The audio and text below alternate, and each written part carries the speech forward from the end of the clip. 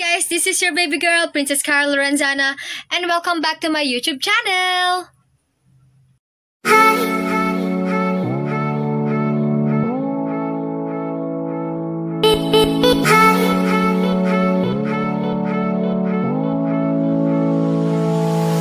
So hello guys, kung interesado kayo kung paano ko na-achieve ang look na to, and kung interested kayo kung paano mag-makeup, then please keep on watching.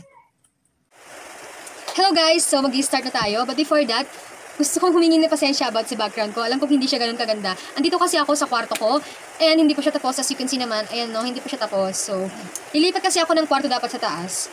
Pero hayaan nyo, sa next video ko, gagandahan ko na yung background ko, mag-set up ako ng bonggang-bongga.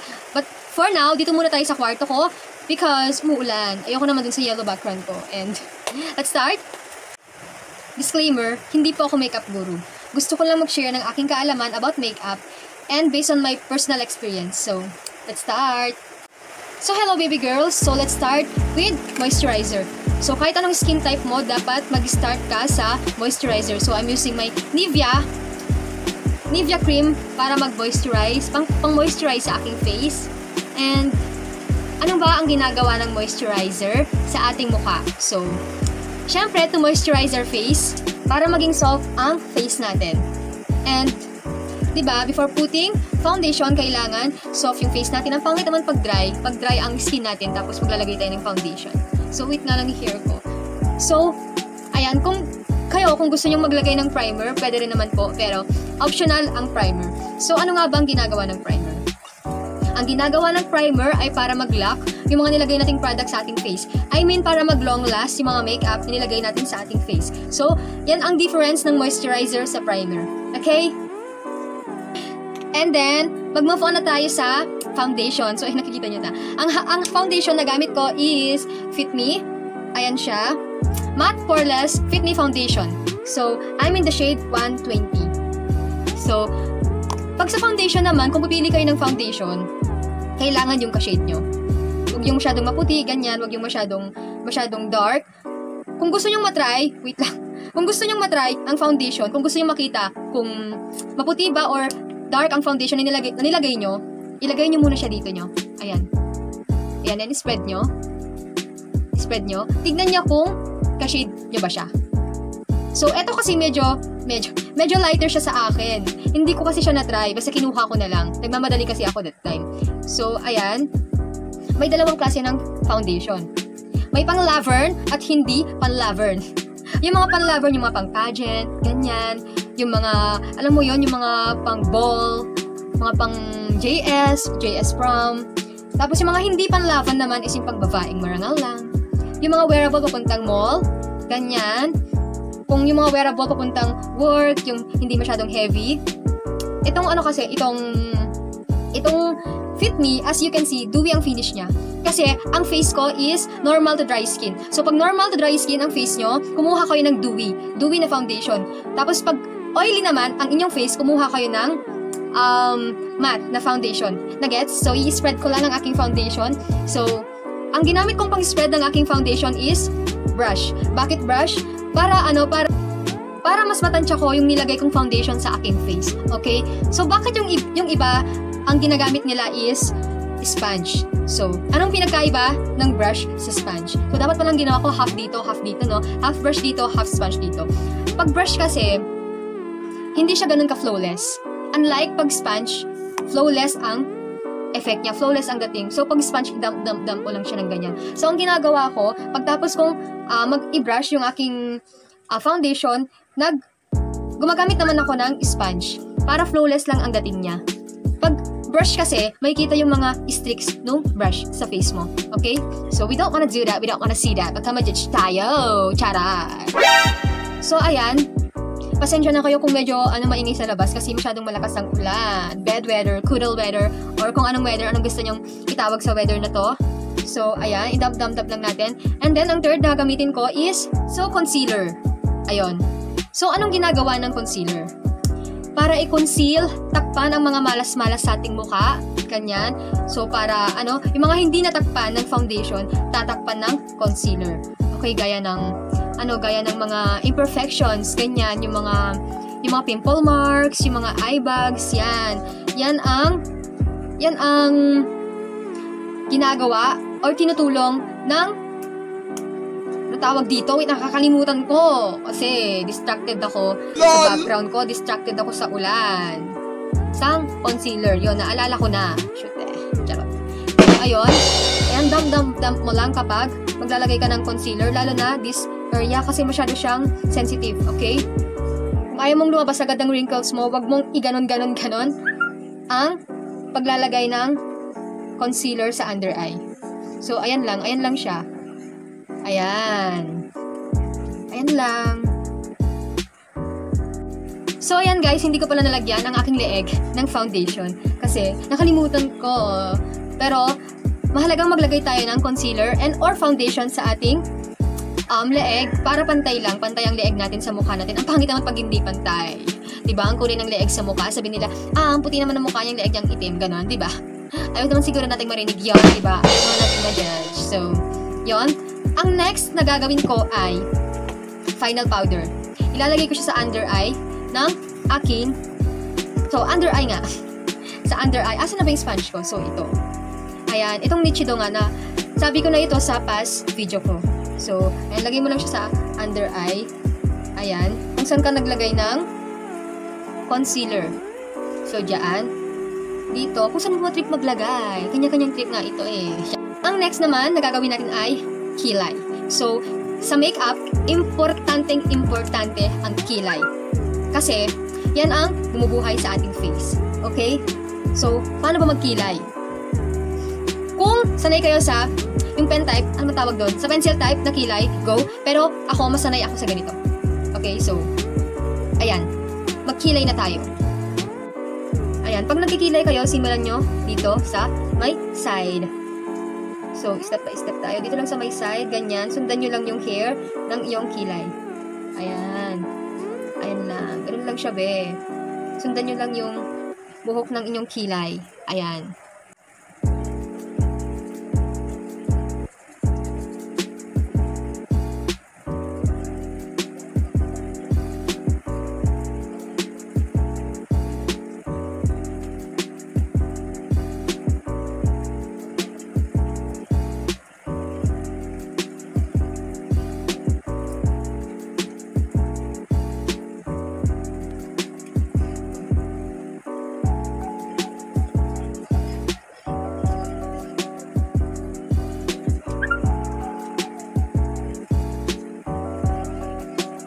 So, ayan, patapos ng aking kilay.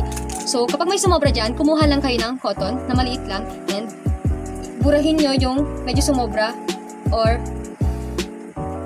yung mga part na hindi nyo nagustuhan sa inyong pagkikilay. So, ayan.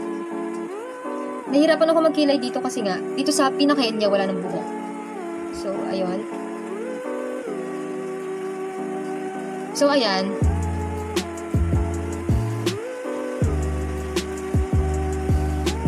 Ayan. And, ibabrush natin siya ngayon. So, ang next na gagawin mo ay kumuha ka ng powder na pangkilay. Wait nga. Oh my God, nasan yun? Nawawala na naman. So, I'm using this into it. And ayan, paubos na siya. So, ito nga pala guys. Pagdating sa pagkikilay, kailangan yung shade na kunin mong pangkilay ay kakulay rin ng yung hair. So, in my case, brown ang aking hair ngayon. So, brown din ang aking pangkilay. So, dito pa sa kabila. Bakit ako naglalagay ng powder? Bakit ako nagpapatong ng powder sa aking kilay? Para mag, mas mag-long last yung product o yung pangkilay, shit, wait lang. O yung pangkilay na nilagay ko sa aking kilay. Yun lang yun. So, nahuhulog-hulog ang aking cam. So, ayun. Dito lang, ganyan. Ayan. Pak, pak, pak. Ayan. So, kapag happy na kayo sa kilay nyo, and tigilan nyo na yan. Okay? Masama ang sobra, guys. Sabi na, gaya, gaya na sabi ko sa inyo, bakit ako nabubulol? So, happy na ako sa kilay. Okay na yan para sa akin. Ang next na gagawin ko is, map ko contour na ako. So, buburahin ko na yung mga final powder sa aking face. Ayan, nakapag-bake na tayo. Okay na yan. And yung iba kasi is, uh, binubura nila tong baking final powder kapag tapos sila mag-makeup and everything. Pero, in my case, ayokong pinapatagal yung baking powder sa aking, final powder sa aking mukha. Baking powder ako ng baking powder pag tatawa na naman ako ng kapatid ko. Si Crisaline, sabi niya, Hoy, hindi yun baking powder, ano ba? Tapos, ayun, na-realize ko, oo nga, no, hindi pala yung baking powder. Tanga-tanga ko. Tapos, ayun, mag-contour na tayo.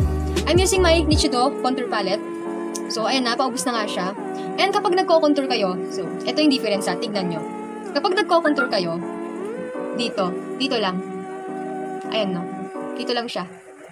Gusto nyo lagyan dito, lalagyan, lagyan nyo rin. So ako, wait lang. So ako, dito lang ako naglalagay ng contour. Ayan. Tignan nyo yung difference. Di ba parang mas lumiit yung face ko dito kesa dito? Ayan. Yan ang nagagawa ng contour sa ating buhay. Pinapaliit niya ang ating face. So, huwag na kayo mag-diet. Mag-contour na lang kayo. So, ayan, kabila. Siyempre, kabila din. And, ayun, sobrahan natin ako naglagay. So, i-blend natin yan. Yan, blend, blend, blend lang. Ganyan. Pak, pak, pak. So, ang kukunin yung contour na, brush na pong contour is ganito. Yung, yung medyo pa-side na ganon. So, sa akin na, yun ang pang pinampo-contour ko. Ewan ko sa iba. So, yun ang trip ko eh, di ba? So, ayan. Medyo lumiit ang ating face. I'm so happy. So, kung medyo malaki naman ang ating NAIA airport, pwede nyo lagyan diraw, di ba? Para medyo lumiit naman ang ating noo. But in my case, may bangs ako. Wait na lang. May bangs ako. So, hindi naman siguro mapapansin yan. Pero gusto ko pa rin mag-contour. Bakit ba? So, ayan, ayan, ayan. Pag-contour is light brown lang. Okay? Light brown. So, ayun. Ang next naman na gagawin natin is magpo-contour na tayo sa ating ilong. So, I'm using different palette and different shade. Ito pa rin. So, ayan. Kapag nag, yan, dinitip ko siya rito para hindi siya ganun ka-harsh, ka-harsh brown. Kasi medyo, medyo dark brown ito. So, ayan. Kapag nag, um, nose line kayo sa inyong ilong, dito nyo sisimulan. Ayan. Dito, dito, and dapat light lang yung inyong hands, huwag yung masyadong madiin. Ayan, dito lang. Dito lang sa both side, ng, both side ng ilong mo dito. Ayan, dyan. So, dito pa. Ayan. Teka. Teka lang. So, ayun. Tinatawag ako ni FA. Sabi ko, teka lang, bakit ba? So, ayun. Ayan. Do, ayan na. Ba? So, kaya kung gusto niyo pong maglagay sa bridge ng ilong nyo, ako kasi gusto ko pa. And, ayan. Ipaabot nyo hanggang dito sa kilay nyo. Okay? Hanggang dyan sa kilay. Ang pangit na pag dito lang yung contour ng ilong, di halatang halata na fake. Ano ba? Ayaw natin ng fake. So, charot. So, ayun. And, lalagyan mo siya ng white on top. Ayan, para mas pointed talaga ang dating niya. So, ayan. Ayan. So, parang nasobrahan natin ako sa contour. Bawasan ko nga. Oh, ayan. Di ba? Ang tangos na ng aking ilong. Salamat talaga sa nose line. Di ba? Na-experience ko paano tumangos ang ilong. Anong feeling na matangos ang ilong. So, ayan. Next na natin ngayon ang ating eyeshadow. Okay. So, lalagyan ko muna ng powder ang aking eyes para mas lalong um, lumabas yung kulay ng aking eyeshadow. So, ayan. Pagdating sa eyeshadow sa akin, gusto ko lang yung neutral colors, earth tone, ganyan. Ayoko nang masyadong colorful. So, ayan. I'm using um, my Jaclyn Hill palette. So, ang technique naman ng magandang ano, magandang eyeshadow is dapat tama yung brush na ginagamit mo. So, wala akong maliit na brush dito. Um, ang kukunin ko is tong brown lang. Tong brown dito. Chocolate, chocolate brown dito. So, dito ko lang siya nilalagay. Ayan. Bakit ko nga ba dito nilalagay ang aking eyeshadow? Kasi, ang tawag dyan, cut crease. Okay? Cut crease. So, dark dito, light dito. So, dito ko lang ini-spread ko lang doon. So, nakapansin nyo, dark siya dito, light dito. Yan ang tinatawag na cut crease. And then, correct me if I'm, if I'm wrong ha. And then, kapag, pag full naman, pag full na eyeshadow gusto nyo, then, yung kulay brown na yan, i-spread nyo sa buong mata nyo. So, but for today, gusto ko lang ng cut crease lang. Ayan, babaeng marangal, charot. So, ayan, idol ko kasi talaga si babaeng marangal. Hindi na masyadong halata, no? So, ayan, dito lang. Ayan. So, lagi yung tandaan, for beginners, brown, brown, brown, brown, brown. Yan lang ang ilalagay muna. Yan lang muna ang ilalagay nyo sa iyong, sa inyong uh, eyes. So, yan, dito ulit. And, ayan, i-blend lang natin ng maayos. Ayan. So, ayan. Ayan siya. Ayan. Nakikita nyo na ba yung color? Ayan.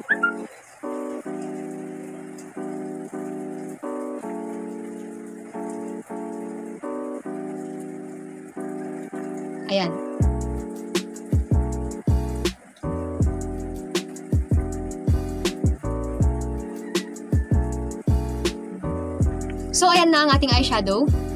Ayan. Kung gusto niyo pa ng mas dark sa side ng inyong eyes, sa crease ng inyong eyes, then maglagay pa kayo. Brown lang, puro brown lang yan. Ayan. Ayan. So, ako, happy na ako sa eyeshadow ko na yan. And next na nilalagay ko is, dito na. So, dito na tayo. Ang ilalagay ko for that is, itong Shining Shimmering Splendid dito.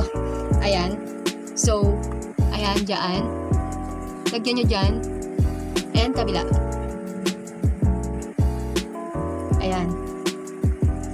So, ayan. And i-blend, to, i-blend nyo sila together. So, wait. Ayan. Blend it together. Na, na, na, na, na. So, ayan. Happy na ako sa aking eyeshadow kasi nga, basic pa lang naman tong sinasabi ko sa inyo. So, 'di ba, yung iba nagtutungkil sila. Ako kasi hindi ako marunong magtungkil. Ako honestly hindi ako marunong magtungkil. So, ang ginagawa ko is kumukuha ako ng ganitong brush and dinidip ko siya sa black. Ayan.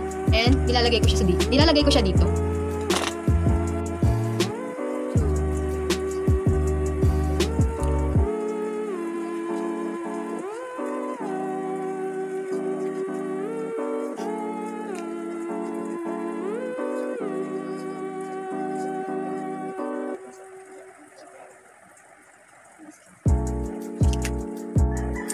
So, ayan ang aking tungkil. So, medyo light lang siya kumpara sa mga tungkil na sobrang black, ganyan, sobrang dark black. And sa akin kasi, napansin ko, hindi bagay ang eyeliner sa akin. Hindi bagay ang wing eyeliner sa akin. So, ganyan lang yung mga ginagawa ko, yung mga soft black lang, ganyan. So, ayan. And, ang next na gagawin natin is, magpa-blush on na tayo. Okay? So, let's go! Blush on na. Para pink-pink lang, ganyan. Pretty-pretty, di ba? So, ang gagamitin kong blush on is, this one. And gustong gusto ko to kasi nga may blush ka na, may highlight ka pa. So, ayan. Dito, mo lang, dito ko lang siya nilalagay. Ayan. Nakikita nyo na ba yung highlight? So, ayan. Sige, highlight lang dyan. So, pack, pack, pack. Ayan. And, ayan. Shout out nga pala kay John Dave. So, my very good friend, um, way back high school. Up to now pa rin naman, friends kami. And, naimiss na kita, John Dave. Kailan tayo magkasama bakla? So, ayan. Dito. Dito sa um, nose nyo, para nga, ano, mukha siyang pointed, mukha siyang healthy and glowing. so, ayun. And, mag-lipstick na tayo. But before that, syempre, moisturize muna tayo ng lips. So, nakapag-moisturize tayo ng lips and it's your choice kung mag-nude ba kayo. Kung mahilig kayo sa nude, then go sa nude. Kung mahilig kayo sa red, then mag-red kayo. But in my case, di ba, hindi ako mahilig sa red lipstick. So, mag-nude tayo today.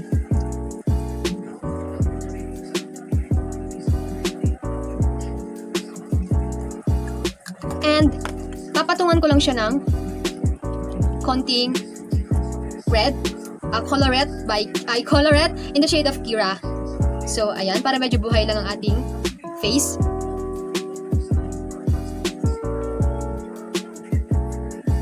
Ayan, so, pinag-combine ko silang dalawa and ito yung kinalabasan. And i-update ko kayo sa final look. And, wait, please keep on watching. Wait. So, ayan. This is my final look. So, kung napapansin nyo, hindi siya uh, matte finish. Kasi, sabi ko sa inyo, normal to dry skin po ako. So, dewy ang ginamit kong foundation. Sabi ko sa inyo, pag normal to dry skin kayo, ang gamitin yung foundation ay hindi matte. I mean, dewy. So, kapag oily naman kayo is, pag matte kayo, para balance lang.